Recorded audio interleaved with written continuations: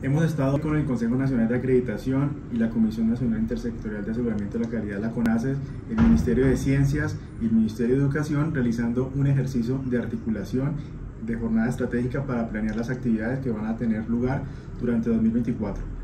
Eh, con motivo principal de poder hacer una articulación conceptual que facilite los procesos de acreditación y de registro calificado. El proceso de modernización que está adelantando el Ministerio de Ciencia en lo que corresponde al sistema de ciencia, tecnología e innovación implica fundamentalmente tres ah, factores importantes. El primero, arrancar con un proceso de reconocimiento de actores para poder involucrar a los distintos participantes en los territorios con un sentido de inclusión social. El segundo, fortalecer la infraestructura digital para poder tener una mejor interoperabilidad de todas las bases de datos en lo que corresponde ciencia, tecnología e innovación y el tercero, la mejor articulación entre todos los actores del sistema. Dentro de los temas claves que hemos trabajado es la política de ciencia abierta y apropiación social del conocimiento que ha venido desarrollando el Ministerio de Ciencia y Tecnología, la cual queremos verla reflejada dentro de la gobernanza de nuestros sistemas para democratizar el conocimiento, ser más inclusivos, llegar a los territorios, trabajar los temas de género,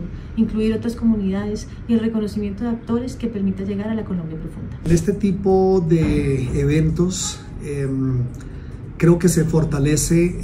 en, gran medida el sistema de aseguramiento de la calidad de la educación superior procurando armonizar eh, políticas de calidad en la educación superior donde el Ministerio de Educación Nacional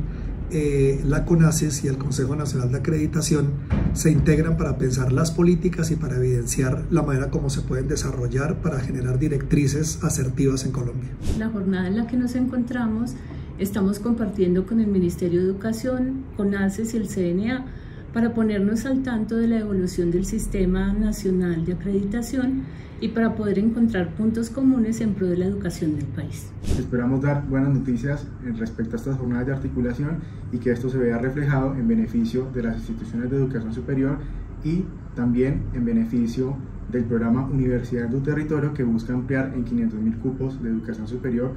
el derecho progresivo de educación superior en el sistema y que esto se vea reflejado en una oferta de calidad en esos lugares donde se quiere llegar, que son territorios alejados, territorios de difícil acceso y con oferta rural.